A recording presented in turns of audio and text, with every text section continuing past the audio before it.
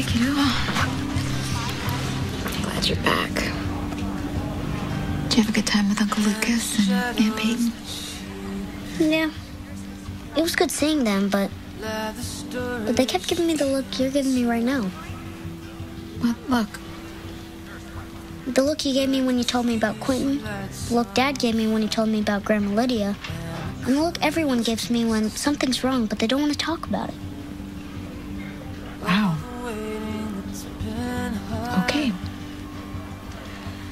Well, you uh, give me give me the game.